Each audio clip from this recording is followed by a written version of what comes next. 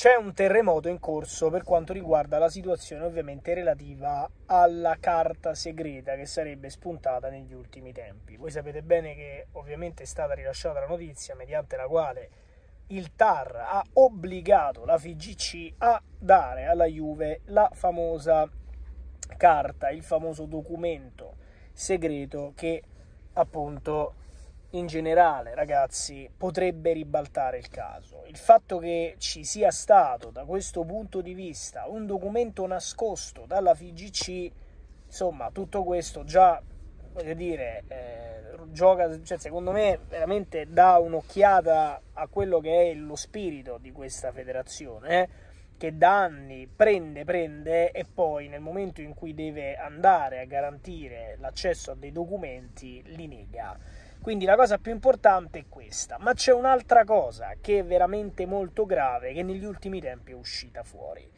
Cosa gravissima, che potrebbe anche questo ribaltare tutto ciò che avete sentito.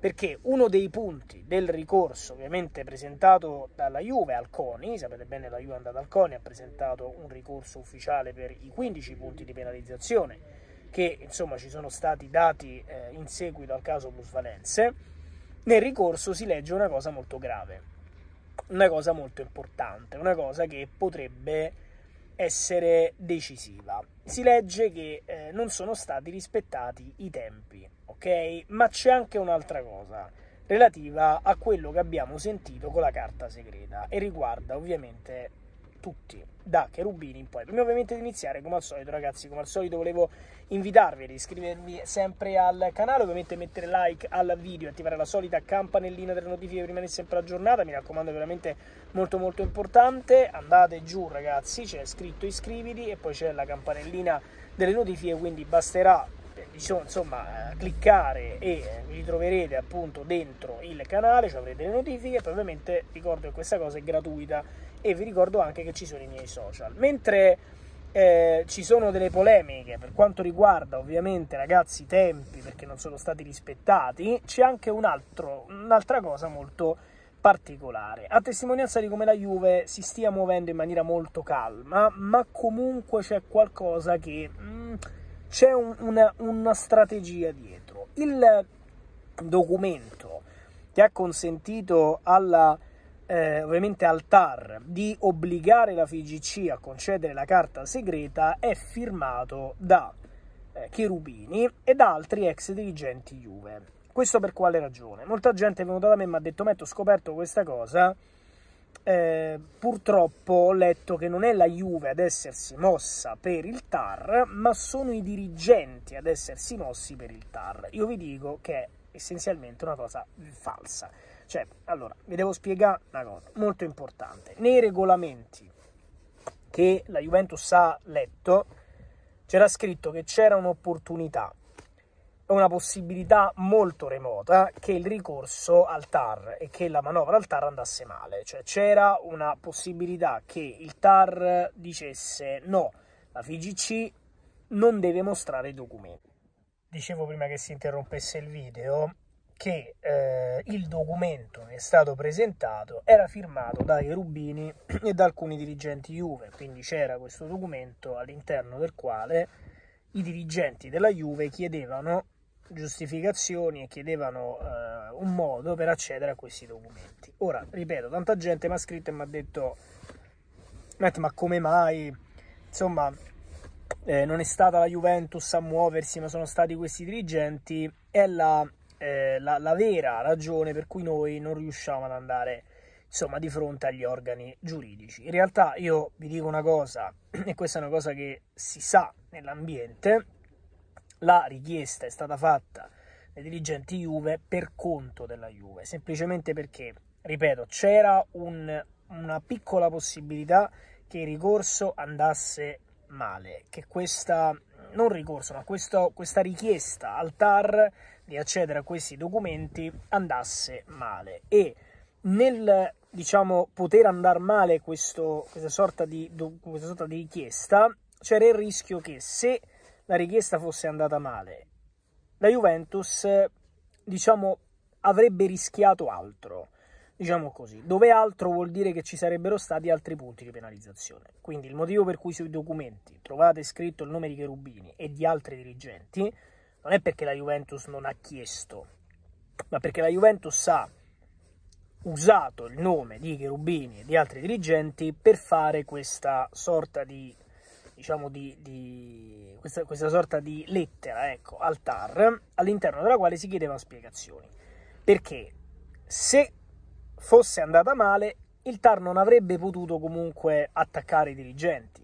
Quindi i dirigenti non rischiavano nulla nel momento in cui la Juventus, per esempio, eh, mettiamo caso che il TAR, ad esempio, eh, mettiamo caso che il TAR avesse rigettato la richiesta. Ecco, se la rigetta con dei dirigenti di fronte, il dirigente non ha conseguenze se invece a rigettare la richiesta si fa con il TAR, quindi si fa contro la Juve, la Juve può essere, diciamo, punita da questo punto di vista con altri punti di penalizzazione.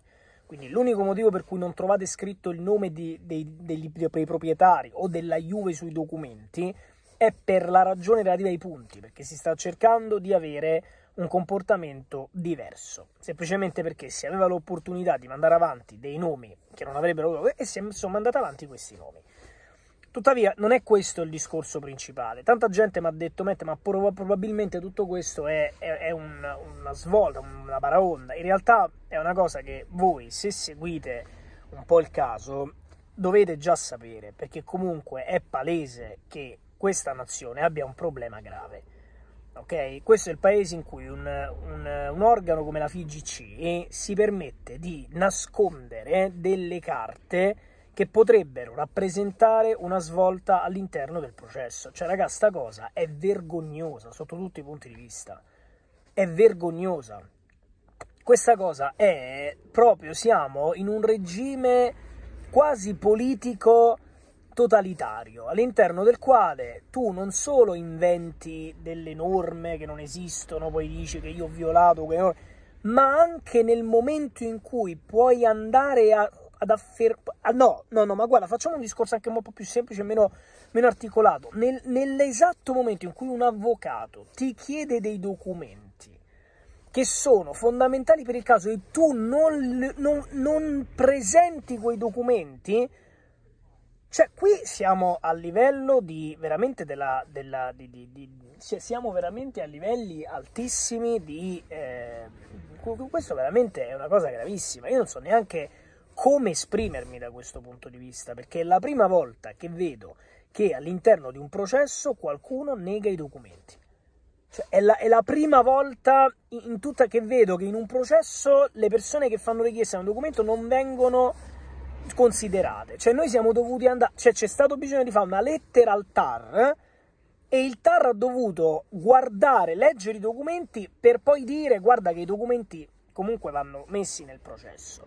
Perché se noi ci fossimo semplicemente fidati della VGC, quei documenti sarebbero stati ignorati. Cioè, per come la vedo io, è una cosa gravissima, perché tu stai impedendo alle persone che stanno cercando di essere trasparenti, stai impedendo a loro di avere il materiale, cioè stai, stai impedendo a loro di, di, di stai, stai, letteralmente impedendo il corso del processo. Questo è ostacolo alla legge. Cioè, qui stai ostacolando i processi. Qui, qui non c'è una logica dietro tutto ciò in cui la FIGC abbia potuto dire no. Dice, beh, la FIGC ha detto no perché c'è questa ragione. No, la FIGC ha detto no perché se la faceva addosso. Ecco perché ha detto no.